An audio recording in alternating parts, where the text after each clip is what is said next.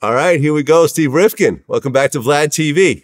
Thank you, Vlad. It's great seeing you, man. You look good with the beard. Thank you. Thank you, man. And you know, when you you know talk about the Steve Rifkind family tree and, and all the people that came out of it, Vlad TV and myself are really one of the branches of that tree. You know, because we actually had our offices in SRC for a bunch of years. Yeah, I think it was like what 2009 to 2012, something, something like that.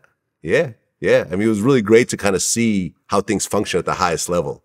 You know, and that was really like a priceless time in my life, man. So thank you so much for No, you know. thank you. We had some good time. Oh yeah, absolutely, absolutely. Well, you know, we had like a whole interview about your whole story, but you know, I just want to concentrate on a few things in terms of what's happening recently. Okay. And you know, one of the groups that you signed originally was Three Six Mafia. So you know, and they just had their Verzuz. Did you watch it? I was there. Oh, you were there. Yes. Okay. what did you think when all hell broke loose? I didn't think it was real at first. I was I, I wasn't on the stage. I really wanted to enjoy the show because actually, when Eazy passed, and we went over to Sony, they transferred Bone Thugs through Ruthless, Ruthless through Loud. So we had all the solo records too. Oh, through Bone Thugs, but I didn't really have. The, the closest one out of the Bone Thugs people was Krayzie Bone. That um, you know, and Steve Lobel really helped us a lot. And Steve and a woman by the name of Charlene Thomas really spearheaded, um, made the introduction for us with Three Six, and then Charlene really um, was like the A and R and product manager for Three Six. Yeah, at, at Loud. I mean, at the time, I mean, you see all these Memphis artists these days, but at the time, Memphis just had a couple local rappers, and that's it. No one really broke out of Memphis before Three Six Mafia. Exactly. But I mean, I mean, I was listening. I think uh, Drink Champs, and you were saying how you, when you were just kind of touring around the South, everywhere you were going, they were like Three Six Mafia, Three Six Mafia, Three Six Mafia. So you already knew that they were hot down there. The other reason, and I, I told this to Juicy and Paul the other day.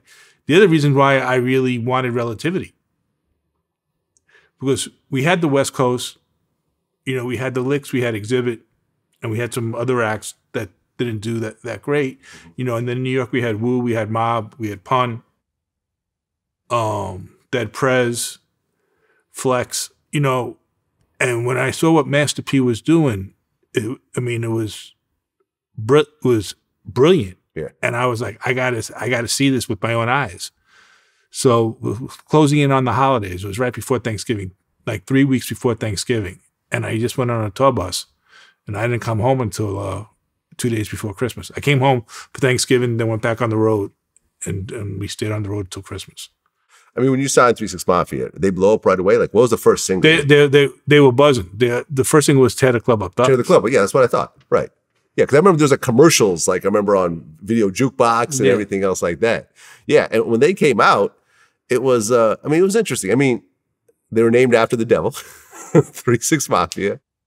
It, and there was a bunch of people in the group, right? I mean, it was it was Paul and Juicy, but Paul then and Juicy you had uh, Gangsta Boo, Crunchy Black. Some I forget who passed. Um, uh, Lord Infamous, and uh, Koopsta. Yeah. Yeah. So, um, but we only really dealt with Juicy and Paul. And they were the owners of Hypnotized Minds. Yeah. I mean, when you saw the the fight kind of break out, you know, I mean, I it brought a smile to my face in a in a in a crazy way. Out of all the artists that you know what that Verzuz is doing, it had to be one of mine. You know, just like um, but you know what Swizz and Tim are doing is just really incredible, and the whole Triller family. yeah, yeah. I mean, I was really thinking about it. It really, I think, took a page from like, you know, Jamaican sound clashes. Mm-hmm. You know what I mean? How how you know you'd have like these big DJ crews get together and play dub plates, and then have the artists come out, but they really took it to a whole different place, and now it's become really like the place where everyone really Yeah, I mean, it's culture and it's driving streams. I mean, it's literally the it is the forefront of what's going on in culture right this second. you know, and I just interviewed Project Pat, you know, and who was signed to Loud as well. And he was talking about how at the height of his success, he caught a gun charge. And then he had to go to prison for four years and catching a Fed case in, in the process and everything else like that. And I talked to him, I'm like, why, why are you carrying around illegal guns when you're now a certified you know, rapper, like on a major label, like Chicken Head had just dropped, I think. You have you, you know, sipping on some scissor, chicken head, you know, three six mafia is doing crazy. Um, why why carry an unlicensed gun during that time? Well, I'm gonna say this again. I'm thinking like a criminal. You know, Mm. like when you think like a criminal, you don't think like, you know, I'm seeing the money, I'm moving smooth, but see in my brain, you gotta think now. I'm, I'm know, devil got me thinking I'm smooth anyway. You know, and then I'm a listen, listen. A criminal don't think like this. A criminal, I don't have no beef with nobody. I'm not in tour with nobody. But in Memphis, everybody getting robbed. So I got some money now. Some money, money. So I'm thinking, well, I might need to carry this strap. Then I said, well, I might need to carry them two straps. I'm going to the north side. That's a little bit more dangerous. And he Chicken Head just, I remember the day like it was yesterday. We wouldn't, and this is when there was radio. I mean, there's still radio, but like Yeah. when radio was right, we already had the streets in the South on lock. We went for ads. We were the number one most added re- record at Urban and um and Crossover. And then I wake up that morning and Juicy's calling me. He just got arrested on this gun charge. And it was a, not just one gun, it was a lot of guns. He had a few guns. Yeah. Okay, he didn't mention that part in the interview. okay. I mean, and how do you really, you know, as a, you know, and you've always been like a, a CEO that's not really like a typical CEO. You've always put the artist first. And, and you've always kind of dealt with, you know, some of the nonsense and some of the craziness that comes with, you know, dealing with certain rappers and, so forth. But you never, you know, a lot of a lot of labels will shy away from that. A lot of CEOs will shy away from it, but you never did. There's no reason to. Hmm. Um, You know, but but well, I mean, there is a reason to on a business level. Because, you know, once again, like we talk about the Project Pat situation, you've spent all this money on Project Pat and everything else like that, and then boom, four years gone. Can't do any promotion, can't can't do any pro, you know, I mean, can't go on a tour. Like, you know, so he, he, he was he was losing the money, right? Uh, with the with with the tour. Um, but you know, m- my thing is always, I'm going to treat you how you treat me. I'm going to show you the the most respect. I'm going to give you my word, and that's you know. And then once you know, I can't trust you, then there's there's really no relationship.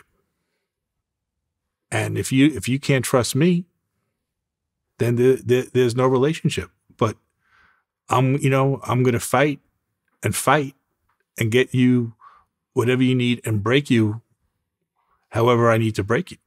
Hmm.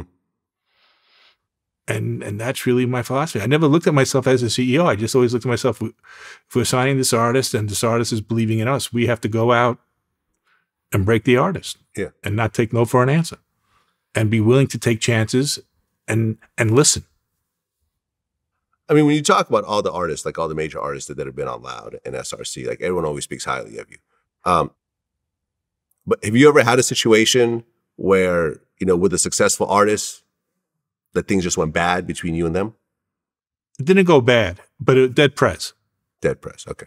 Um, you know, they were they were young and I was sensitive.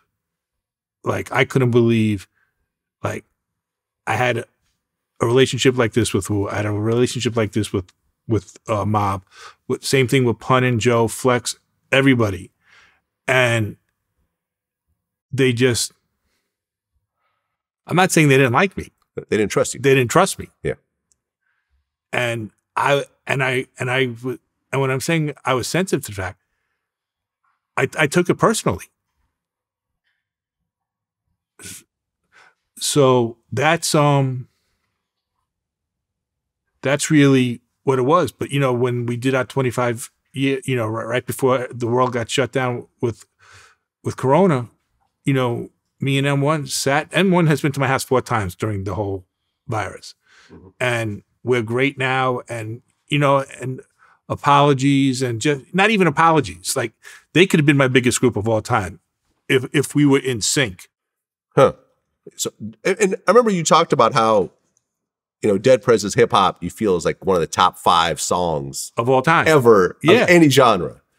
With the, you know, you're talking about Michael Jackson and the Beatles and I mean, Jay Z and That Eminem. record that that record came out what ninety eight. yeah, still being So played. I mean, it's still relevant for what it's what it what they say, how it how it sounds. Yeah.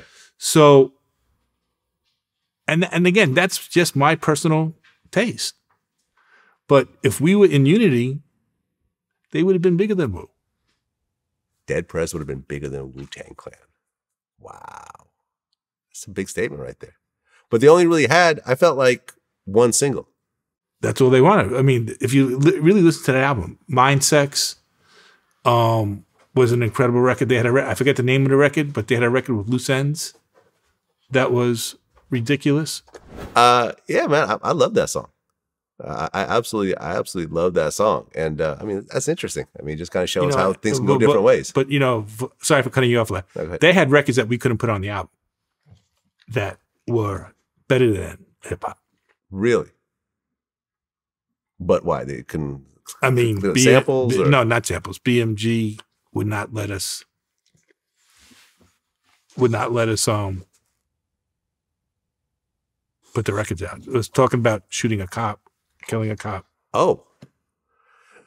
Well, remember, Ice T put out Cop Killer Yeah, with that body count. It caused an uproar, but they still put it out. yeah. But And then B- I think they got dropped from the label afterwards, Yeah. actually, to come to think of it. But yeah, yeah, BMG. Like BMG I, I went to war with BMG. That's one of the reasons why I left to go to Sony. aha. Okay. Well, one thing I never realized until kind of near the end was that you were actually DMX's manager. Yes. Okay, so how did that relationship start? I went to one of Kanye's um, Sunday service, Okay. and he grabbed me. He goes, "DMX is here. He's performing." And I met a guy by the name of Pat Gallo, who was managing him. And um, I called Pat the next day. I said, "I could really help you with this." Hmm. He goes, "We're starting our tour. Can you meet me in New York in, in the next few days?" I fly to New York, and um, Pat brought me in to be his partner. Okay. And then um, with that, I met X at Coachella when he did Sunday service again. We got the dog in the shot now. right, if you were hearing the Champ. grunting recently, that's where it come from. Beautiful uh, bully, by the way. Uh, okay, so so DMX. So you go out to Coachella. We go out to Coachella, and we sit down and talk. And um, he, he told me what he wanted to do, and um, I said I can make it happen. And it was he wanted to re-sign with Def Jam. Hmm. And this is when Paul and Rich were at uh, Def Jam. I called Paul, Paul, Rosenberg and Rich Paul, Isaacson. yeah, Paul Rosenberg and Rich Isaacson were at Def Jam. Um, I called Paul. I said, I'm coming in and let's take a meeting with um with X. And Paul is, you know, one of the biggest hip hop fans of all Yeah. time, besides him managing the biggest artist in the world. Right. Eminem. Yeah. Okay. And I remember there was a was it HBO came out with a documentary recently Yeah. on DMX. Yep. And uh, it showed the shot of you guys signing the deal.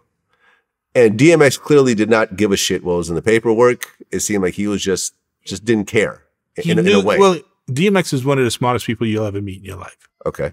He knew the deal. He knew the deal. Yeah, because we went over it a few a few times. So when I said no, you're gonna look at this again. I, I was doing it to just cover everybody's ass, but the deal wasn't changing. The- You know, Tim already we were already on the third or fourth draft, and each time there was a draft, me and Tim spoke to him for like 20 minutes and said, "These are the things. How far do you want us to push and and, and not push?" He was there every step of the way. Aha. Okay. And I, I remember like in the in the documentary, you guys then pulled him aside and talked about all the various lawsuits and everything else like that. And he that- was he lost it. Yeah, I mean, he was he was like just really upset in the elevator. I was like, oh, these bitches, rah, rah, rah, rah. Like, you know, I mean that's I wasn't. I mean, he was upset. yeah. I really wish that I knew that you were DMX's manager at the time. I had no idea until he was already in the hospital. But we actually had a an interview set up with DMX, Who set it up? Pat. Craig. Okay. We paid fourteen thousand five hundred dollars up front for this interview, and we waited weeks and weeks. We were supposed to do it in Miami. We were waiting. We were waiting. We were waiting. At one point, I had to get Swizz involved. Swizz had to call Craig and was like, "Yo, like, what's going on?" Oh, yeah, okay, yeah, yeah, yeah, we got it. You know, we'll do it. and then ultimately uh, X passed away. Wow. You, you I, I didn't. know. I didn't even know. You didn't even know. No, I'm not blaming you on it at all, at all. But you know, I mean, obviously we never got our money back, but you know, um, Went to the kids. yeah, yeah. I mean, it is what it is. I mean, actually, what what Craig actually told me was that that money actually kept X alive longer because it kept him out of New York. He was able to use that money to keep him up in Miami, and then they went to Atlanta. You, you remember that whole Yeah. the whole thing leading up to it and so forth. I mean, it, it is what it is. I'm not, I'm not tripping, but I really wish we had gotten that interview because I was such a fan, and his energy was just. It was just like nothing. Like you can't even compare a DMX to anybody No, you can't. it- it's not even you know i mean you could take certain artists okay he kind of got you know you could you could compare nas to like a Kool G Rap right you can't really compare a dmx to anybody No, you know, he got operated on a year and a half ago, and when X was out here making the album, he called me up. He goes, "Can I come to the crib?" Oh, I go, "I'm at home," but I go, "I'll leave the door open," and just he goes, "Will the dogs be there?" And I'm like, "Yeah." He goes, "I really want to help Champ."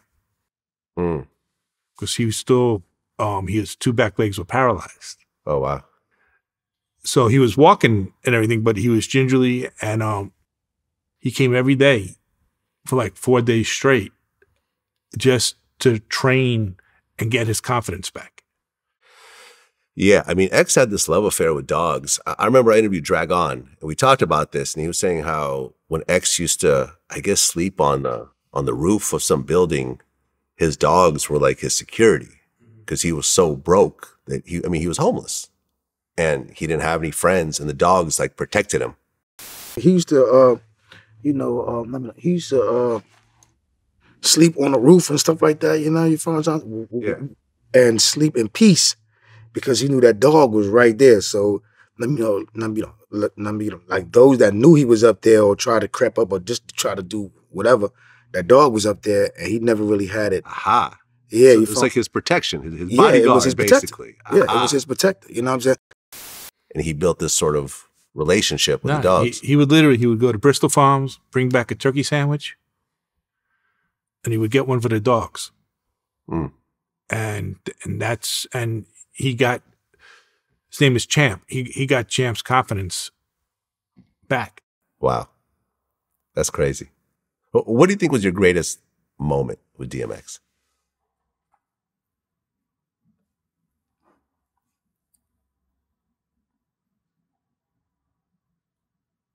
getting him to um back out to LA to work with Swizz. Yeah, I mean, Swizz really, really loved DMX. I mean, with Swizz, he's already wealthy. You know, he don't. He's not working with DMX because there's a, you know, there's a dollar amount at the end of that. It's because he really wants to work with DMX and all the magic they created together. No, I mean it was true love. It was true love. It was it was literally brotherly love. No, exactly. And, and like I said, when I was trying to get this interview back on track, me and Swizz hadn't talked in years. I hit him up. I was like, yo, I got something important about X. He called me up right away and I explained to him the situation. And it was like literally Craig called me back like an hour later. Okay, yeah, yeah, yeah. We'll, we'll get to do the interview. That was all Swizz, man. Um, so here you are, you're working with DMX. He is back in the studio with Swizz. He's trying to work on his album. He's moving around still and, and doing, you know, I guess some shows and so forth. Then he comes back to New York. And from what I understand, that was the last place that you really wanted DMX. Not Yeah. you personally, but No, everybody nobody wanted him in New York. Yeah. I don't think he even really wanted New York, to be honest with you. right. Because that's where he gets back into his old ways and everything else like that. Um, were you in contact with him before the heart attack? I spoke to him. That was he had the heart attack on a Friday. I probably spoke to him that Wednesday or Thursday. Okay. Don't forget, it's Corona time too, so nobody's re- really going out. Yeah, exactly. And I, and I was just checking in on him. Yeah. When you heard the news, how'd you feel? I didn't think it was real at first. I thought it was, it was because this wasn't the first time, you know. Um. So when Craig called, he goes, "I'm on my way." He goes, "I don't know how real it is." Yeah. Um.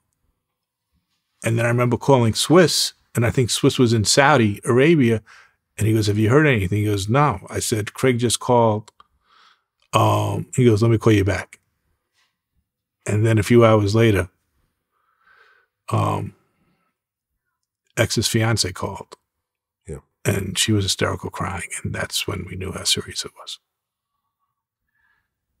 You know, and I remember I talked to Craig about this, and what he was saying was that X had actually been clean for a while, which is why he was so heavy.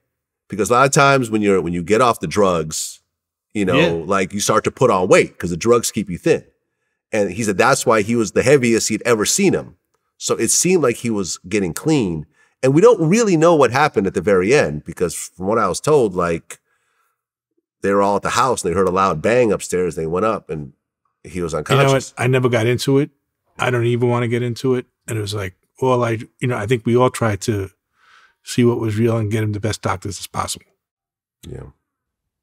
I mean, when you finally found out that, okay, like, and, and I remember talking to Craig during this time, and, and I knew early that, like, okay, although he hasn't been officially pronounced dead, he's he's essentially brain dead, and you know they're just waiting for the family members to come. When you finally knew that, okay, he's not going to make it, how'd you feel? I was heartbroken. I was heartbroken. And then, you know, these people um started saying he was dead, he was dead, he was dead. And granted, he might have been brain dead, but nobody knew that. And I was just like, let him just rest. Well, not him rest, because he was already brain dead, but let the family just relax for two seconds and let them fly in and let them not think anything, you know. Yeah. Um, and that's what I was upset about. And I remember going on Instagram and like everybody, he's alive. Just let the family take care of what they need to take care of. Yeah. And then, you know, once he passed, a bunch of, you know, so called kids started popping because he had what, 17 children or something like that? 16, 17. 16, 17 children. And then the fight over the estate and everything else like that. I don't, it was not really a fight. I mean, at, at the end of the day, um, it wasn't, no, it was always, you know, his three oldest kids that, I mean, it was never a fight. I, I think other people were trying to see if there was going to be a, but they couldn't, you know, you have to be over 18 and his three oldest kids were over 18. So it was, it was, it was never a fight at all. Yeah. Yeah, man, sad. One of the one of the greatest ever. Yeah. You know, just And a heart of gold. period. And a heart of gold. Yeah. Yeah. I never really got I, I interviewed him one time, I think, at Power 105. And it was Mhm. like I remember he was the only person that I didn't have to say or really do anything. I just pressed the record button and DMX instantly lit up and would just do everything on camera. He was just drawn to the camera and a natural actor. You know what I'm saying? Like I mean, he was a triple threat. he was a triple threat. Yeah. I'm sorry for your loss, man. Thank you. Well, uh, the Wu Tang series on Hulu, uh, which you're actually portrayed in. Uh, Number one, what do you think? Okay, number one, what do you think about the overall series? We're now two seasons into it. I love it. You love it. I like it. I, I, I like it. I, I wish um the guy who plays me, I love as a person. Oh, you know him personally? He came, he wanted, you know, he picked my brain on, you know, some stories, this, that, so and so on. I just um wish he showed a little bit more. I mean, but it's not his fault. I guess it was the director, you know, a little bit more energy or a little bit more passion. Yeah. He has the long flowing hair. Like we're going to show a picture of you uh, Yeah. back in the day. Because I'm like, wait a minute, that's not Steve. And then I'm looking over this picture, going, okay, never mind, that's Steve. Because I always knew you with short hair. You know what I'm saying? Um, yeah, I mean, it's it's a dope series. Like I I feel like, I mean, in terms of my personal opinion, uh, Raekwon's character kills it, just nails it. ODB's character nails it. RZA, not so much. And me, me and Ray even talked about this in our last interview. How like the RZA accent that the actor does, just he. So I think he kills it, but I think he tries too hard. that's what I'm saying. Um, I think he tries too hard. I, I thought every, I thought they nailed them all, like each one. Dave East with meth. I mean, d- Yeah, yeah, I, I can see. I guess since I already knew Dave East, Yeah. you know, before it was, that, that's a little bit. but- Joey Badass with that. I mean, the, yeah, yeah, that, that was cool. Ghostface, not so much because I feel like the Ghostface actor is just so much smaller physically than the real Ghostface. You know, Ghostface is a real Yeah. imposing kind of big figure. You know what I'm saying? So I felt like I'm just not really getting the Ghostface vibe since I've interviewed him before and everything. But you know, listen, they did their best. I loved it. Yeah. I, I didn't miss a show. You didn't miss a show. Okay. You know, there's actually a story. Me and Raekwon talked about this in our last interview. Is that uh, Leonardo DiCaprio wanted to do the Wu Tang movie? You know about this? I don't know if it was true or not. I heard about it. No, I mean, I mean, according to Raekwon, there was actual meetings and everything else like that. Like they actually met with Leonardo and everything else like Mhm. that. But then when RZA came in, he wanted to do the the Hulu series instead. Next thing you know, we met up in Beverly Hills. We met up with with Leo's team, his production team. RZA was at the meeting, so RZA really took the meeting on the strength of myself, but also he took the meeting to see if it really was what I'm talking about. So next thing you know, we sitting there, blah blah blah. They saying, "Yo, we interested. This is what we want to do." Cause you know me, I'm I'm throwing out there, "Yo, we gonna we gonna want to have an all star cast of people involved with it." You know, I'm thinking like, "Yo, would it be younger guys that'll want to play us, and then eventually, you know, we would all play, we would all get in it somehow when it was needed."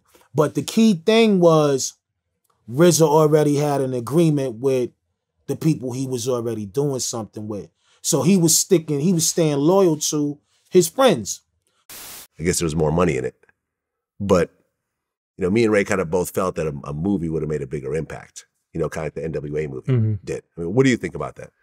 There was, you know, besides the movie, I mean, there was a few movie studios. Uh, Paramount wanted to do something with them. Um, I, I don't know. I mean, if it was making the movie, we would just be probably just start shooting the movie now. I mean, it, would ta- it takes two years in pre-production to get the script right, to get it, to get everything like that, and Right. to- so I, I don't know. I think now, I, I think they could still do a movie. Well, I mean, after the series, I mean, so much of the story's been told through the series, I guess. Uh, I. Different. Be a little different. Yeah. I, I feel you. I mean, I, I, I like the series. Like I said, I've watched every episode. I'm, I'm really into it. Um, you know, and, you know, Ray just wrote a, a book Okay. you know, we did a whole interview around the book. I got to read the whole thing. And, uh, you know, when you guys first signed Wu Tang, and some of this was really kind of covered in, in both the book and, uh, and the series, your offer was essentially the lowest out of all the major labels, but you allowed them to have solo deals. One hundred percent. Yeah. Why was that so unheard of at that time? What the solo deal? Yeah, the solo deal. because the record companies are so fucking greedy. Hmm. Like they wanted everything, and it was like I managed New Edition, not for a long time, but for like a year, year and a half. Mhm. And the group is really still bigger than the solo artist, right? Maybe besides Michael leaving the Jacksons, right? But if Michael did a record with the Jacksons, who knew what it could be, right? Mick Jagger's solo records were never as big as a Rolling Stones record right. right? So I was like, as long as we have first right, we'll be good. And if we have the group, and and that's and that's how I and that's how I looked at it. Yeah. Um, and I remember Rich Isaacson and myself, we had to scream, rant, rant, and rave, and say, like, this is unheard of. I'm like, I don't give a fuck. Like, this has to get done. Yeah. This is a life changing moment for me. Hmm. I mean, you guys had first rights of refusal for all the solo deals, though, right? Yes. But the only artist you got was Raekwon. Yeah, but that was just me and RZA having a conversation. Okay. But you tried for the other artists as well, obviously. No, I didn't have the money. No, because Oh, okay. when Def Jam offered Meth one hundred seventy five thousand, they just went gold. I didn't have the budget to pay for Method Man, Mhm. and then um, Geffen offered GZA like three fifty or four hundred something. I was like, "There's no fucking way," you know. And then finally, when we went platinum, um, I had a conversation with Riz. I said we should really just go in together and renegotiate the deal. Your deal, and I'm going to renegotiate my deal Mhm. and I ended up having not a fist fight, but it's I threw a chair through a, a glass door, Yeah, and I the heard about this. and and the cops came and they arrested me and everything else like that, and it bit BMG in the ass because of um what they like. We could have got it. that We were twenty thousand dollars apart when I blew this fit and BMG was holding steady. And then RZA saw what I did. He was like, "We're putting everything on hold." And RZA told me that night, he goes, "Don't worry, Ray's still going to be with you. Let us just, you know, not play chicken, but let's just." Yeah. You know, scam. Method Man was coming at the following week. Method Man scanned 120,000 the fir- first week. And those days, those numbers were, were ridiculous. I went up again. It was a Monday before the Thanksgiving, and I was catching a plane that night to Florida, and I, I blew another fucking fit. And sometime in sometime in February, um, we got the deal done. Uh, okay. Well, but Raekwon did sign with Loud Records. Yes. And uh, according to the book, it was a $500,000 deal. Yeah. Yep. And, and one of the dopest things that I learned from reading the book was that Raekwon decided after signing this deal that he's going to give Ghostface half. Who does that? Who signs a solo deal and then gives his man half? I mean, that was, I mean, what that whole crew, I mean, they all just helped each other. It was brotherly love. Yeah. I mean, when Ray brought up the idea, okay, because you signed a deal with Ray, were you trying to sign with Ghostface also? No, we, we, me and RZA already had the plan. He was, Okay. si- he was signing Ghost to, to Razor Sharp. I was always going to get Ray and Deck. Got it. Got it. Okay. So you sign Ray, and then Ray tells you, hey, I want this album featuring Ghostface Killah. I, fine. you were like, eh, but that's never been done before. Doesn't matter. Doesn't matter. I mean, it's like, It's whatever. I think we sent him to Barbados. yeah, exactly. Yeah. and then they went to Miami. Yeah, because they, got- they got into like some situations with the hotel. And they, they went to uh, to Miami afterwards. Um, what's interesting also is that originally Raekwon wanted to call the album instead of only built for Cuban Linx, he wanted to call it. Wu Gambinos. But then a phone call came in from the actual Gambinos. Tell me about this.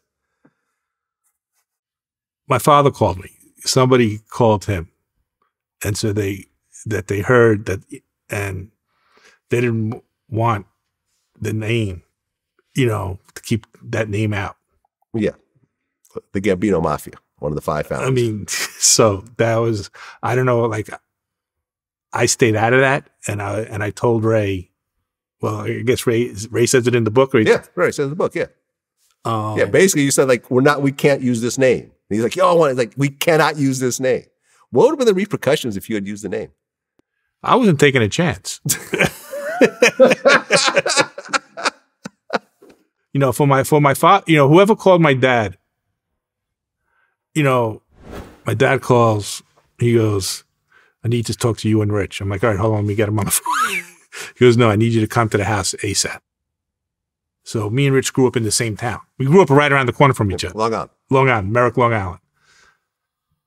And I'm like, what the fuck's the matter? He goes, I'll tell you when I see it. He can't even talk on the phone. He didn't want to talk on the phone. so, um, so we were actually on our way to the Hamptons anyway. I said, my son Alex was maybe six weeks old, seven weeks old. And, um, no, actually, Alex wasn't even born yet. That was a different time.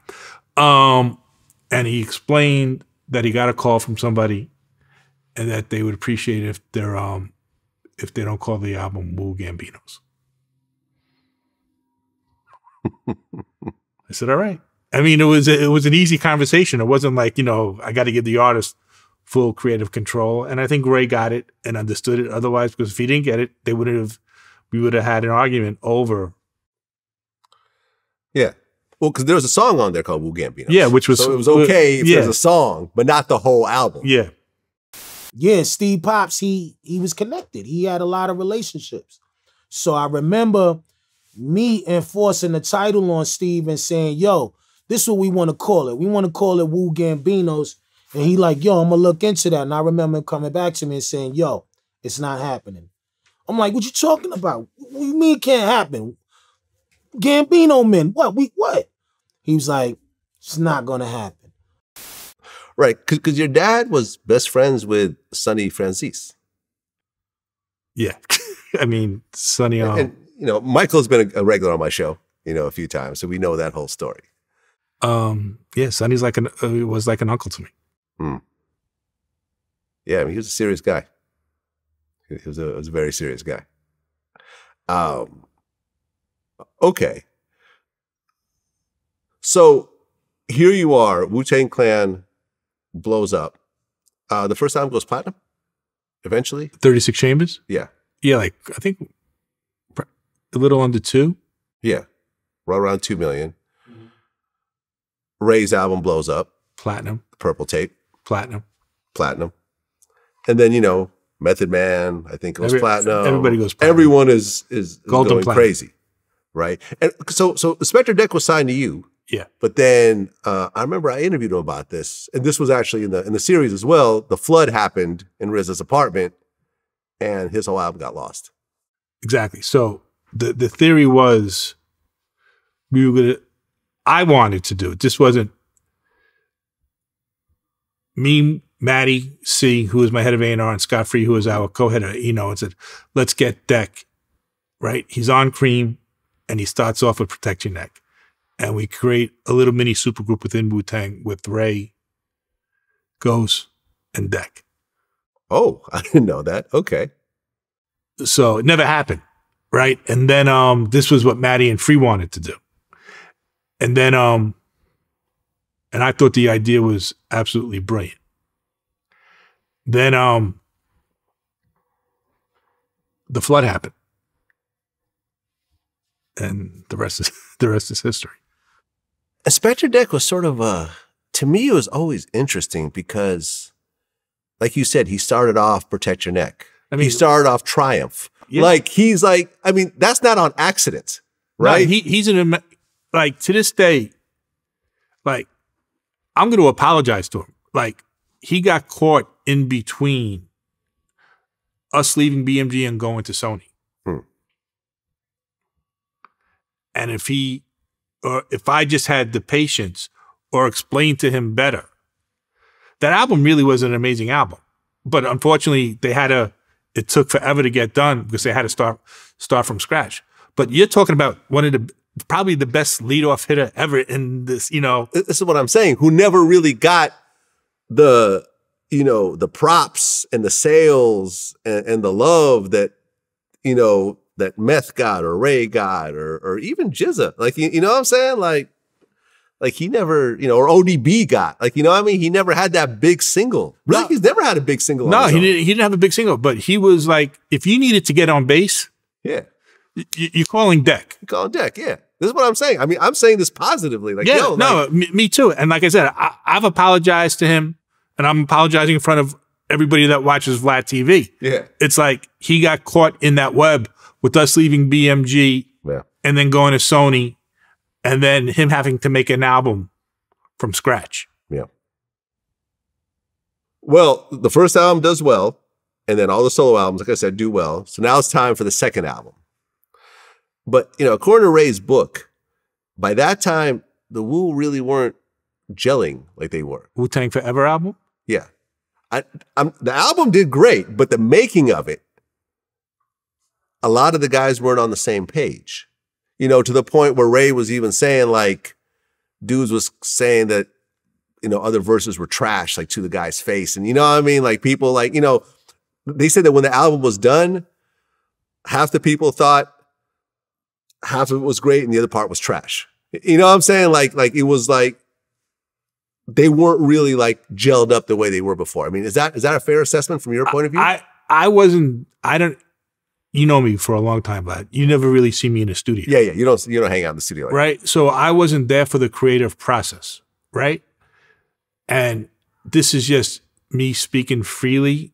Um, there were a lot of songs, and I don't think they really knew in depth how much it takes for a double album. Yeah. Yeah. So you're talking about let's I don't remember 24 to 26 songs. Yeah.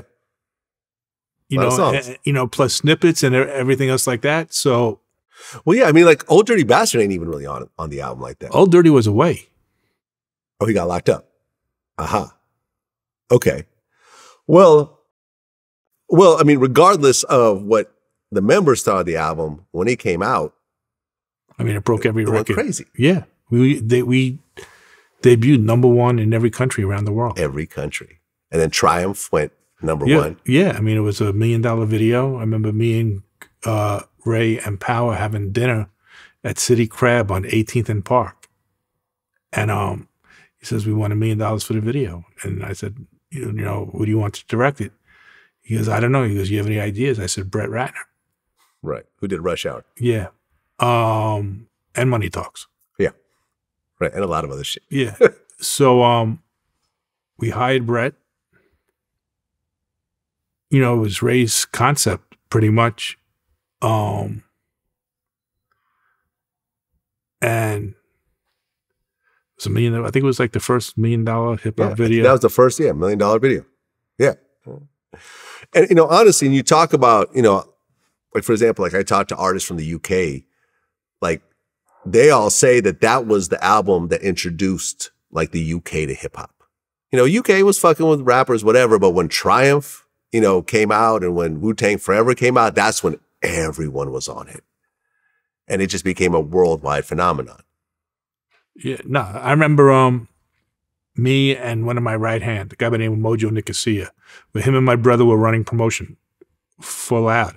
And our office was on Melrose and King. You know what Cookies is on. Melrose? There, we we owned that building, and that's where Loud was. And we went to go grab a sandwich, and we saw this kid on a skateboard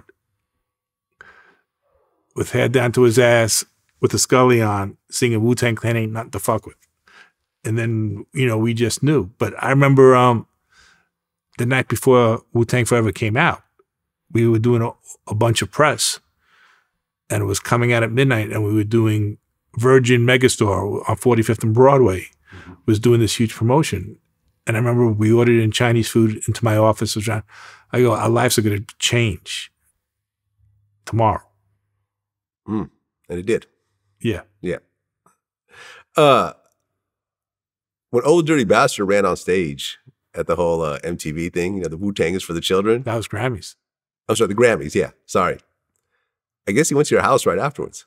He was at my house before. We were celebrating, and he goes, "Are you going to the?" Um, I go, "No, you know, we're not winning." He goes, "What do you mean we're not winning?" I go, "They not, you know, it wasn't going to be televised. You know, we we lost." So I said, "I'm just going to watch it here." He goes, and he was upset, not necessarily that we lost, that he bought a brand new suit, every everything like that. Well, from what I understand, I remember my old, you know, my Raekwon interview from 10 years ago. We talked about this. Apparently, that was Old Dirty Bastard's first suit ever. That was the first suit he's ever owned. And you know, when you put on a suit, Yeah. you feel some type of way about it. Like, So my wife is making me dinner. I'm, wa- I'm watching the show, and it comes on, right? And he comes on stage. I'm like, is this like what the hell's going on, right? so not everybody had cell phones in those days yet uh-huh. either. Don't forget, this is 1997, 98, 97. Mm-hmm. And I'm sitting on the couch. I have my phone, my house phone, a pager, and then my wife's phone her her her line is ringing and the phone is going nuts and then the doorbell rings and it's dirty he goes how'd i do what'd you say? i said whatever you did this is what you did this one called this one called this one called this one called he goes well what are we doing next i said i'm going to get dressed and we're going to go to the bmg party Hmm. and the rest was history The rest was history. Well, Old Dirty Bastard ends up getting locked up. And uh, I mean, from what I understand, he actually tried to commit suicide That while locked up. i don't know Yeah. Um, I forgot who it is I talked to about this. It might have been you, God. I'm trying to remember, but we, we'll, we'll go ahead and show the clip. People were saying that old, the old dirty wasn't really the same person after he got out. You know, he a lot of people felt that something happened to him while he was in prison. Well, he went he went through a lot, man. He um he was in HDM with my with my mother's my mother's husband.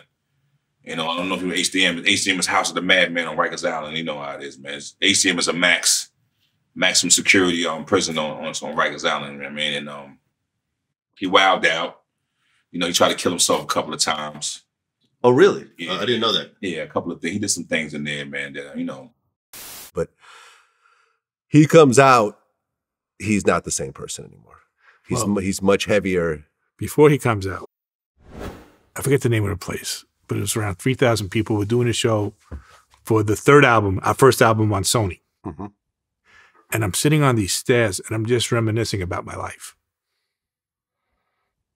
And um, I have a plane waiting for me to leave after the show. So now I'm flying private, this, that, so on and so on. And across the stage, I see a woman. And I'm like, wow, she that must be Dirty Sister. She looks just like Dirty. And she's walking closer and closer and closer, and she's going up the stairs. And I move to my right a little bit, and um, he goes, "You don't say hello to an N." Says the N word, and I look, and it's Dirty. Where they he broke out of jail. And he's dressed like a woman. Yeah, to get on the stage. Takes his clothes off, gets on the stage. The place goes crazy. Wait, wait, wait. Uh, old dirty bastard broke out of prison Yeah, and dressed up like a woman. woman to whatever, but then got dressed. He had clothes on underneath. Performed with them for one song. And he goes, "I gotta go." And he got caught in McDonald's in Philadelphia. Oh, okay. Oh, th- this is before he actually started his bit, or or he was He was already doing he, his. he was already doing. This. Yo, this is crazy. I've never heard this story before. It was all over the papers. Okay. Right, because I remember um, Ray talked about how Wu Tang actually performed in Rikers Island No, this was no. This wasn't. In, this wasn't in jail. They did do that. later on. Yeah, I'm yeah, no, later this, on. Yeah. I forget the name of the. It was on the like 36th and 8th Avenue, whatever. That's crazy. That's crazy. And Ha- you know, Hammerstein Ballroom. what's that? Hammerstein Ballroom. Hammerstein Ballroom. Yeah, yeah. Well, he does eventually get out, Yeah, and overweight and he Overweight. wasn't the same. wasn't the same. I interviewed his son, ODB Jr., and he told me like just the saddest story. He said that um, that ODB invited him to the studio, sat him down, and said, "You gonna watch me get high," and got high in front of him and said, "Don't do this shit." And then a couple hours later, he overdosed and died. I didn't know his son was with him.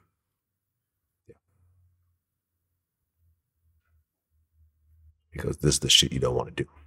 He he made him watch, and and that was his son's last memory. So you actually got to hang out with ODB in the studio with the rest of Wu Tang. Uh, we was kind of hanging out. He was smoking a lot of drugs. so he got it. The last time he was here, he got as high as he could ever get. And how soon after that did he pass?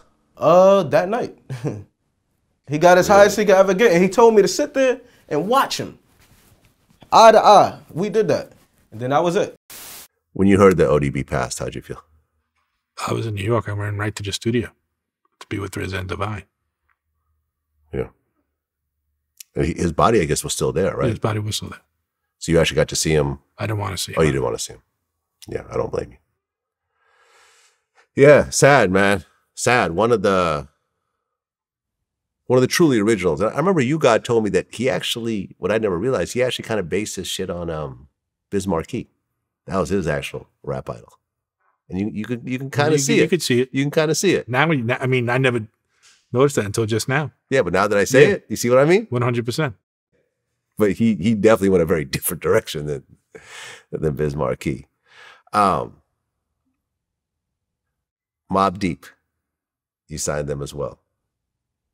Um, when you find out the Prodigy died, How did you feel about that? I was heartbroken. I was um I was in Florida. My daughter was taking her road test.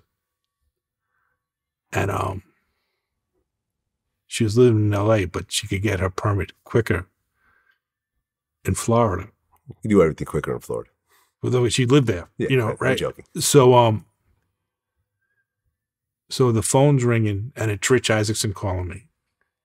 And I'm not picking up because I see Caroline just parking. She was taking her road test. Mhm. And I see her parking the car. So me being a dad, I'm watching and Rich keeps on calling. So I knew something's a matter, right? So I'm like, hey, let me call you right. He goes, Prodigy passed. And as he said passed, she walks in with like, I, I passed, you know, Mhm. she passed her road test. And I just sat down and I just started to cry. And, um, I, I mean, I was, I was fucked up. Yeah, I mean, Mobb Deep. Ooh, you're talking about the duos and hip hop. I, I can't think of anyone at the Mobb Deep level, honestly. A duo? Nah, I can't think of it. Can't think of anybody. I think the closest is EPMD. Yeah, but I would. I think I would put Mobb Deep Yeah, I, above, I, yeah, above, I above mean, those two, and, and I love EPMD. what Like, about, you know Run, I mean? what, about Run. D, what about Run DMC? I think if you look at Different, but longevity, you know, Run DMC got bigger than Mobb Deep at their height. You know, Walk This Way and so forth. But like, I almost look at Run DMC as more of a pop group in, a way. fair- fair you, you see what I'm saying? You know, with with them working with Aerosmith and stuff like that. Like when I look at Mobb Deep, like they remain the same. they kept Mob it- Deep yeah. really to their, you know, you know, to Prodigy's final day. You know, Havoc is still, you know, Havoc got a new project with like Styles P. Like, Yeah. you know what I'm saying? Like they're they're that gritty New York, no sellout. This is what we do. Take it or leave it. one hundred percent. You see what I'm saying? Authentic, Queensbridge, grimy. You know what I mean? Like that. That that really that puts you. You know, from their first video of you know Shook Ones Part Two, wearing the Hennessy shirts, like Spelled wrong. spelled wrong so you wouldn't get sued. Mm.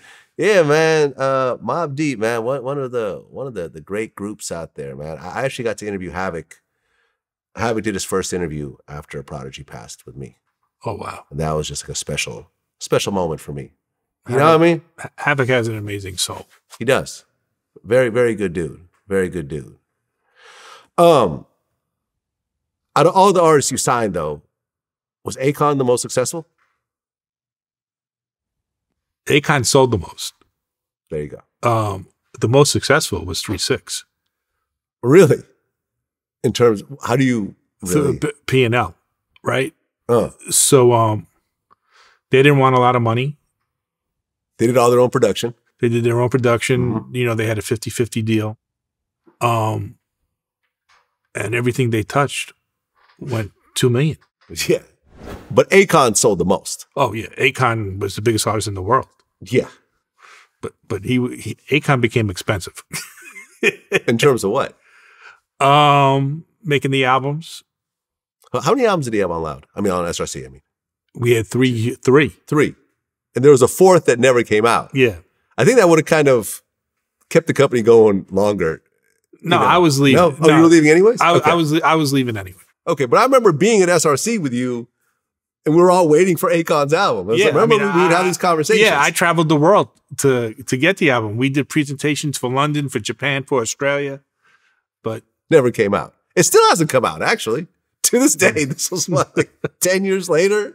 Uh, But like the, the thing about Akon, like let me tell you, and I've said this before. Out of all the people that I've interviewed, historically, I think Akon is the most important in terms of his place in history. I mean, he transformed Africa.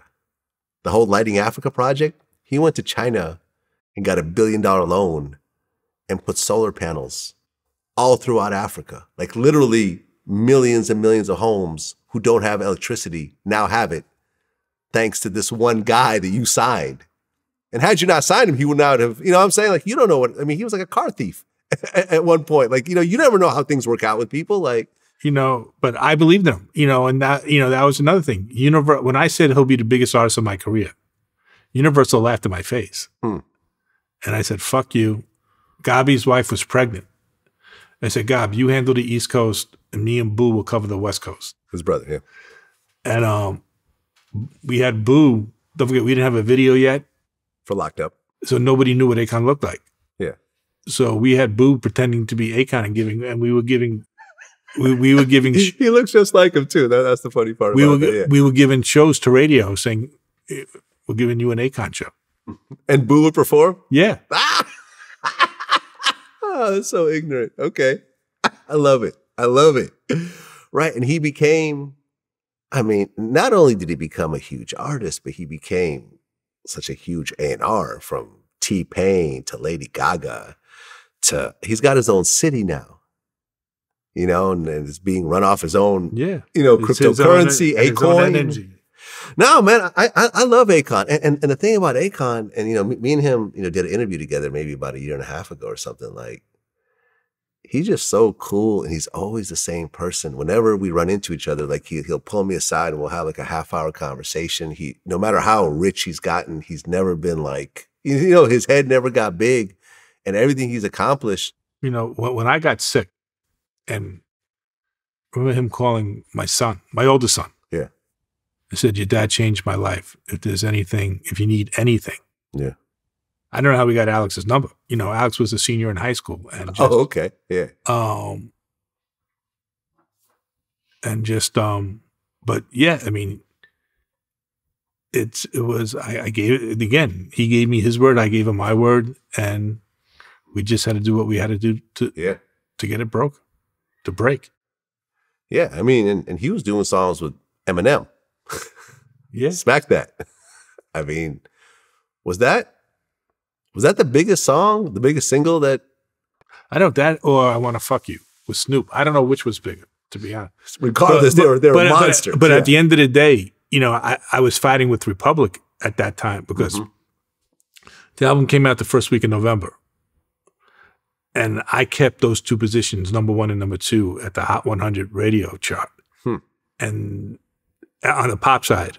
And they were trying to sneak in and get something. I don't know if it was the promotion guy would get a bonus if he had another number one record, but I was like, fuck them. Like, and we kept it number one and two and not trading off. They would trade off every other week.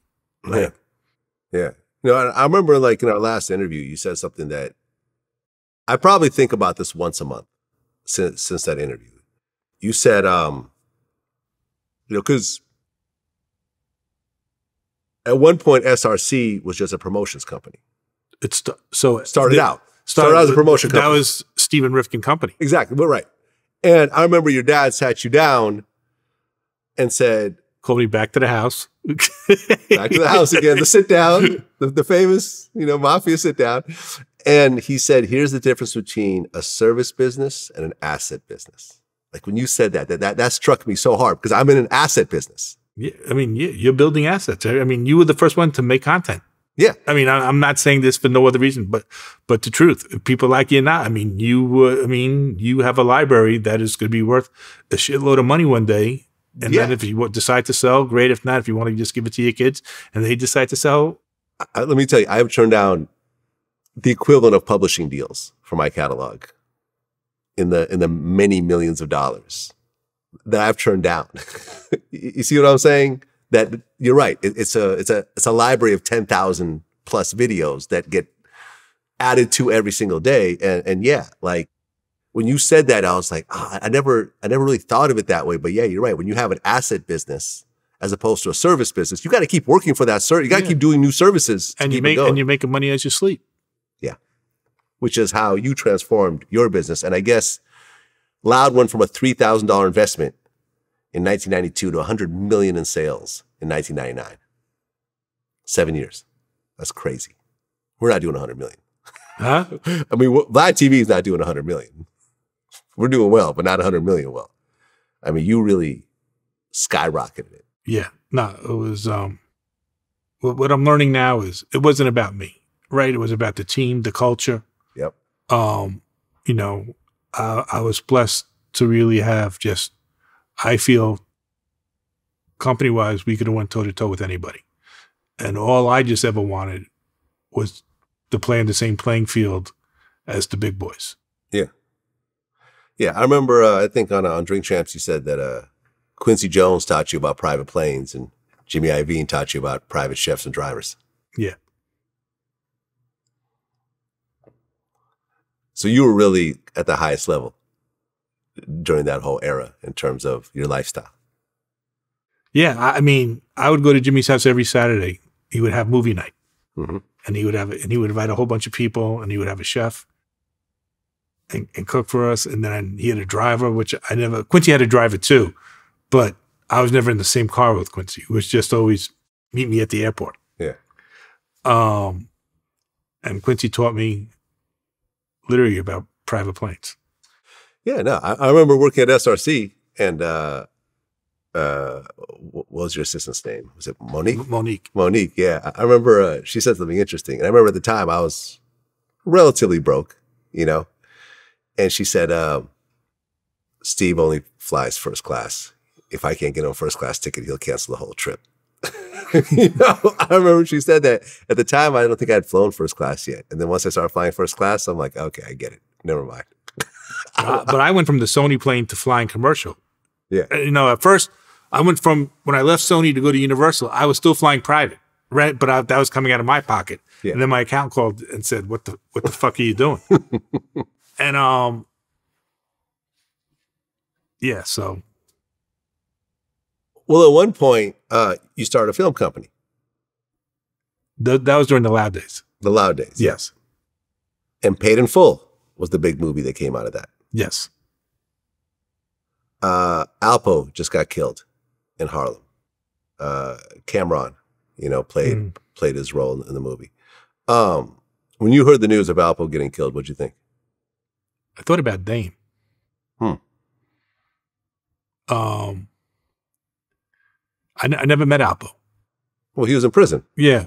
Um, Until recently. So Yeah. I, you know, I didn't meet him, and I was just like, you know, that whole Miramax thing, you know, was just they didn't understand. They didn't understand what we had, and they didn't understand that they just should have just let Dame do what he wanted to do. Right, because from what I understand, there's a lot of drama behind the making of that film. It turned out great, but I heard there was a lot of like roadblocks along the way. Well, Harvey was trying to control it. Harvey Weinstein, right? So, yeah. So, so it was like this. Brett Ratner gave us the Dame gave the script to Brett. Okay. We closed the deal. We had a three picture deal with Miramax through Dimension, which was their independent. Mhm. And um, Brett gave us the script. And that was so it was like through a loud, it was like a, a label situation. Through was a, th- a three picture deal. They gave us crazy amount of overhead.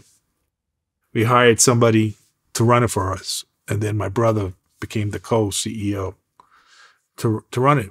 And I just kept on, you know, they would be calling me like, he's screaming at everybody. I'm like, you scream at everybody. Like, let Dame be Dame. Yeah, Dame and uh, Harvey would get into it, from what I understand. Yeah. I heard like Dame would like show up at a restaurant, scream at Harvey Weinstein in That I, everybody. I mean, I, I don't know if it's true, not true, or, or whatever. But at, at the end of the day, I would just say, like, it's coming along great. The script is great. This is all Dame. You guys didn't do a fucking thing. Let let him be him.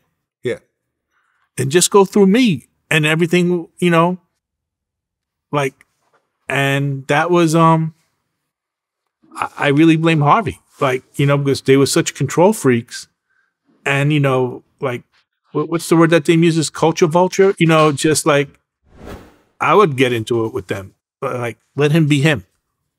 Go, go through me, yell at me. It's like, let him do what he does. He knows what he needs to do for this. yeah. I mean, whose idea was it to put Cam'ron uh, as one of the lead characters? was all- Cam'ron had no was acting all- experience. it was all whatsoever. Dame. It was all Dame.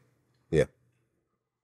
I mean, listen, me and Dame have had our, our differences over the years, but you, you, I can't take away what his accomplishments are, which Nah, is paid in full is to this day A classic. a complete classic.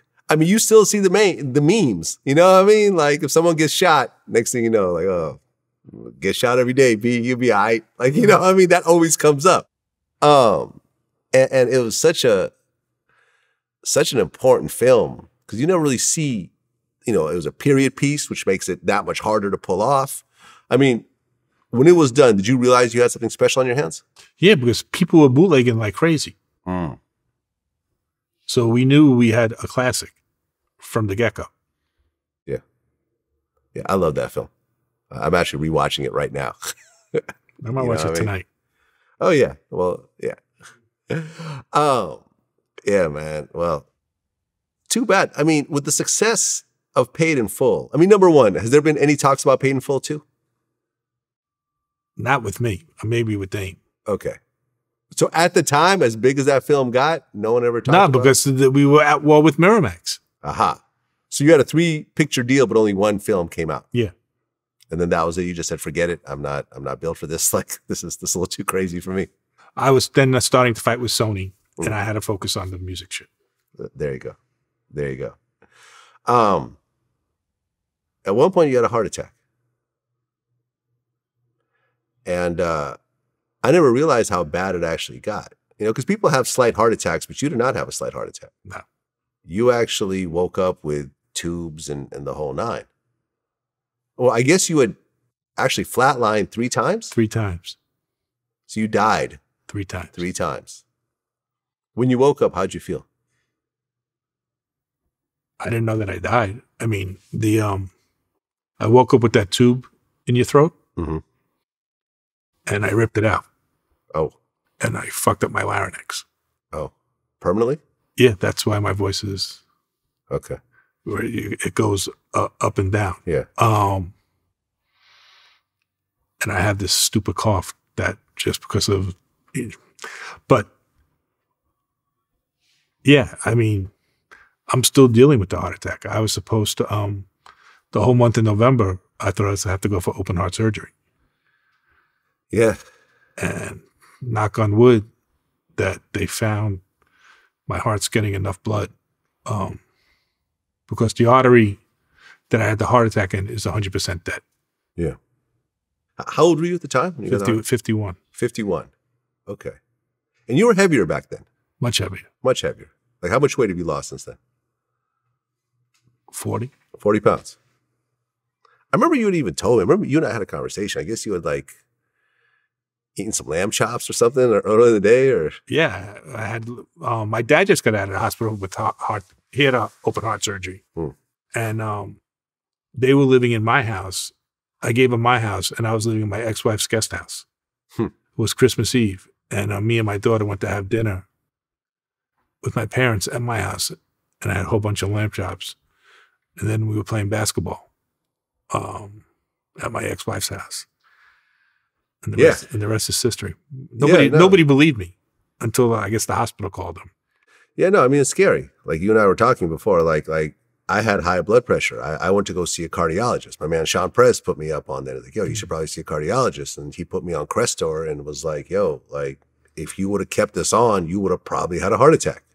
You know what I mean? And then that, that's what caused me to lose 25 pounds and go to a, you know, I mean, I don't, I'm not fully vegetarian, but I went Mm. more vegetarian because that's what he said. He's like, yo, go vegetarian, take these pills every day, and it'll, it'll If I showed better. you my bathroom, how many pills I got to take? Yeah. I got to take um, two blood pressure pills. I got to take a um, cholesterol pill. I got to take um, something for acid reflux for all the pills that I take, an antidepressant pill. Really? Yeah. Heart attacks are real, man. And, that that's really the leading cause of death for middle-aged men, Yeah. pretty much. You know what I mean? He's like, and, and usually, you know, I talked to my cardiologist about this. Usually most men deal with it after the fact, after the heart attack. He's like, you, know, he was telling me how lucky I was that I'm actually Yeah. dealing with it beforehand. So if I went to the doctor, You would have known, I would have known. but you never went. And you had health insurance and everything else like that. There's Yeah, really no just, reason. I was just scared. just scared. Yeah. I, I remember when um uh, I was at SRC with you, uh, you started seeing Sanaa Lathan. and uh, it turned into this whole kind of media circus and got into TMZ and, and everything else like that. Um, was that rough? Because because you're not the the front page guy, you're the behind the scenes guy, and suddenly you're you're front page. Yeah, I, I think it was. Um, I think it was rough on both of us. Um, I wasn't used to it, and I wasn't used to looking at comments and seeing like, like, and I didn't understand why it was such a big deal. Right, because you were you were separated at the time. Yeah, no, I'm not even talking about that. We were definitely separated, Yeah. but I'm talking about like who really gave a shit about who who I who I was dating. Right. But here you are, now in the middle of all, I remember you even reached out to me. He's like, yo, Vlad, like, what, what could we do about this? And I'm like, I don't know. We could do an interview. We could, you know what I mean? Like, But I didn't wanna do wasn't- but I didn't wanna want to do- interviews. You just wanted just to go away. You know what I mean? I think, I think Russell Simmons spoke out on your behalf. I think Russell did it and I called 50. Oh, 50 spoke out as well. Yeah. Um, was that a rough time? I mean, dealing with that? Yeah. I, I, I woke up one day and, um, like, I forget, I forget which blog it was, but it was like Steve Rifkind, now Lathan living together, right? And it was on like, I'm like, where the fuck did this come from? Because we, you know, she's, she likes to keep it quiet. I, I like to keep it quiet. And somebody, and I had no idea if it came from my camp, her camp, you know, whatever. Then, you know, three months later or four months later, or a year, who knows? Like, then another blog said we were married. And I was just like, I'm not even fucking fully divorced yet. Yeah. Right. Because then there's the whole home record thing. Yeah. This, uh, She wasn't a home wrecker. No, she wasn't. No, I She mean, wasn't. her and my ex wife are friends. Yeah. So, so now Lathan and your ex-wife are actually friends. That's amazing. That's actually amazing. Are you and Sanaa still, still a thing or No. no? Is there I'm, I'm proud of her, though. I mean, she's directing a movie now. She's in Atlanta. Uh-huh. I mean, we still talk all the time. she never had kids. Not that I know of. Yeah. You guys ever talk about that? Um, not really. Not really. I already have my kids. That's true. Yeah, that's true. So what's next for you?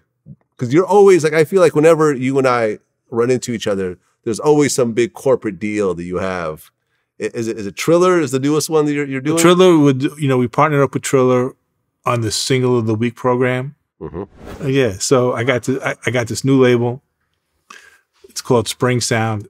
It's named after my dad's label, Mhm. Spring Records. Um, my son and my nephew who are my partners, Okay.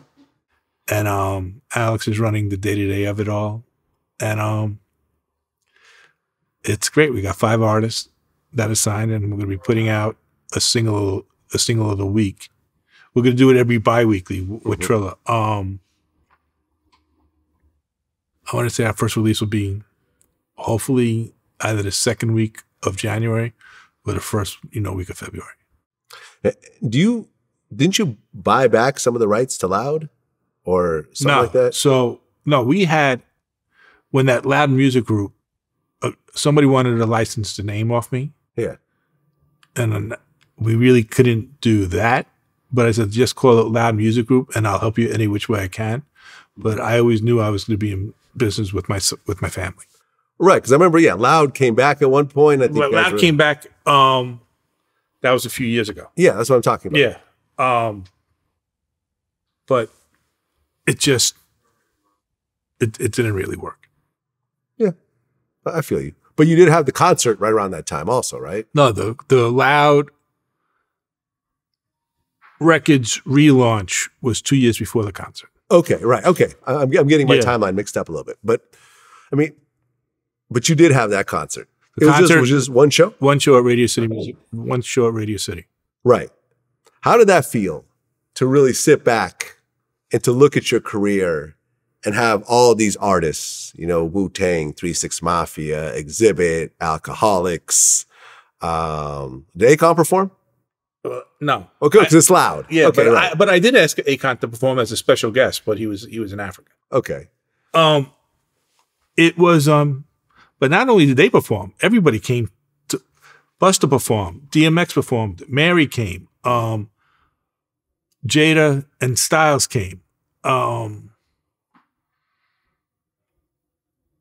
I'm sure I'm missing a, f- you know, but it was like yeah. Little Kim came. Um, it was the biggest hip hop show in three or four years. Yeah.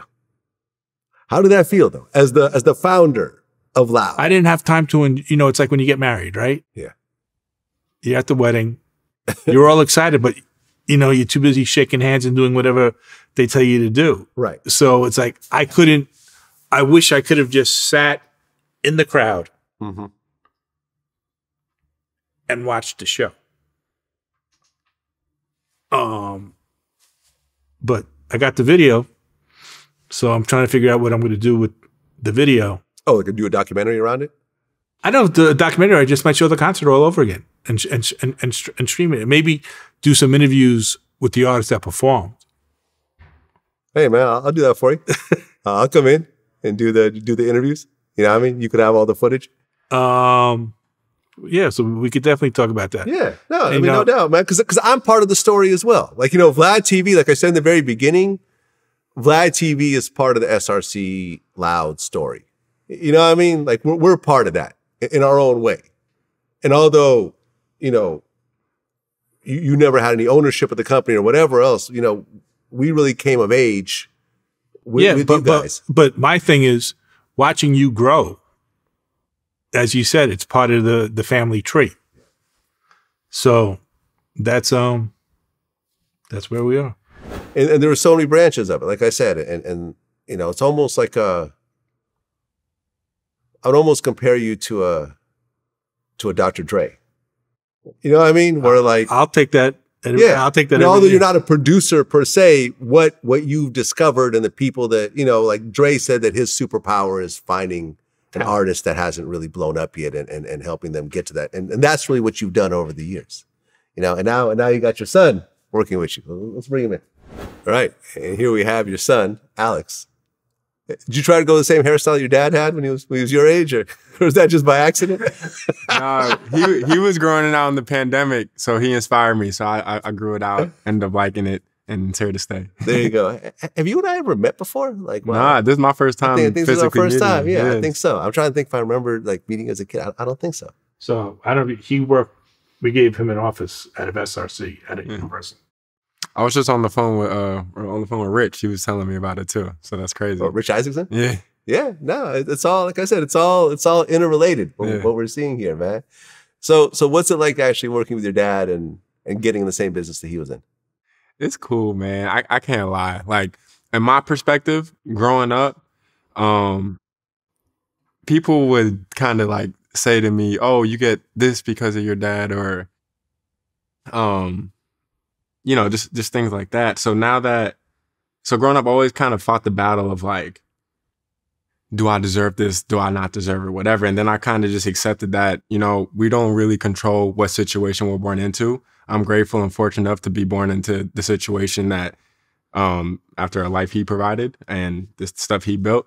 So I'm just grateful and embracing my life and what my life is. So now to be able to learn um from him in a more receptive like student way versus like because people like don't understand like oh it's like Steve Rifkind this that, and the third and it's like that didn't start clicking for me until recent and it's not a disrespect to him and what he's done Yeah. people gotta understand this is my dad like this is my father right Yeah. so I'm sure like Bronny or Zaire feels the same about LeBron and Dwyane. Yeah. Like this is their actual blood father. So it's deeper than just what he um like what he's done in business and the things that I now am fortunate enough to have access to. Um so now that it's clicking and I'm trying to do my own thing in music, seeing how hard it is to sell as many records as he did and do it time and time again and get multiple number ones. Now I'm in like when it comes to work, I'm in student mode. So I'm just grateful just to be able to learn from him, hear the stories of his experiences, and somehow just incorporate it into how I can now be an executive and push forward the legacy him and his dad started. Eh, do you have a moment like the that really stands out growing up in terms of you know meeting an artist or or seeing something happen with some of the artists that your dad has had or, or anything of that sort? From like, if you could like specify, like from just like just bullshit or just like something serious or Whatever, just just the craziest, most memorable thing that you could remember growing up in a family like this. Um, you know, because you know, I mean, you watch like shows like Empire and so forth, and, and this is sort of like a real life Empire in, in its own type of way. I mean, down to the, the concerts and the reunion tour and everything. Like, No, I'm. Oh, well, the, the tour. Um, guess the thing. I was so young. I wasn't alive for Loud, or if I was, I was so Yeah. young. You don't even Right. know what life is. yeah, but SRC, you were around. SRC Yeah. was was was lit. Akon used to come to the house. Him and Bu, we would all play Madden. David Banner, we would play NBA Street. Um, but I think one of my more favorite moments was when Lean Back hit number one on 106 and Park. It was a number one video. That was I was geeking out. I was like a little eight, seven, eight, nine year old. Um, but the coolest moment definitely was the Loud reunion at Yeah. Radio City Hall because it wasn't just Loud. You had DMX's last performance. Kim came out. Um, uh, Prodigy's daughter was rapping for him. Like, who else was there? Mary J. Um, just like everybody who was somebody, Busta, some everybody who was anybody in that era really performed. So to be able to to work it, but then also get moments of I can also embrace this and see what it is and how what it means to build a career, not a moment. Because Oh, that's that's 25 years later that you could still sell out a venue like Radio City. Um, so that was probably that's probably my number one moment. No, I don't know, man, because then when he was when he was working with Ye, like we flew out to Wyoming, like there's moments. I, it- it's tough to say what's number one, but I don't know, probably Radio City Hall or any any Kanye moments have pro- probably been top of the top. Right, because you were working with Kanye. In, in what capacity exactly? Because I remember there was pictures that I saw with you and Kanye together. Um, I helped run his label. Good music. Good music. Yeah. Do you still help run his label? No. No. Um, but Is there really a label anymore? Is there really that, good that music? I don't know. You know, whenever he calls and he needs help, you know, I'm a phone call away. So I Yeah. will always be there for him. What's your most memorable Kanye moment? Because I know you have. I, I mean, I have memorable Kanye moments. I was I mean- around him for like an hour. When we did this Wyoming event Yeah. for the uh, for the release of the album, Donda? no, Yeah. yay. Yay. And um, he called on a Monday. He goes, I want to fly everybody out to Wyoming on a Thursday. And it was costing millions of dollars. And I was like, I don't want to pay for this. And I was consulting a, um, a live stream company at the time out of Korea. Oh, I remember this. Yeah, Yeah. This, this is our last interview. Yeah, I remember Yeah. this. Yeah. Um, and they wrote us the check. To fly everyone out. So they underwrote the whole the whole thing. The whole thing. The power of Steve Rifkind. And uh, that was the one thing I've always really kind of admired about you is that you really had the corporate thing just on lock in terms of working with corporations and, and getting those big checks and everything else like that. Like I've, I've never been good at that. I've always been the content guy.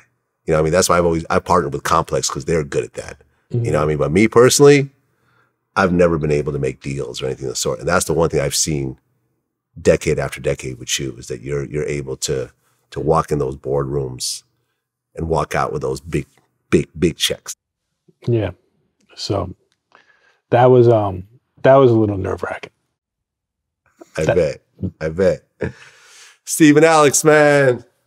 Vlad, it was great seeing you. I'm proud of everything that you're doing. Keep on doing it Thank you, man. and watch what he does. You I know, can't wait. just um I'm enjoying, you know, being on the side and, and watching.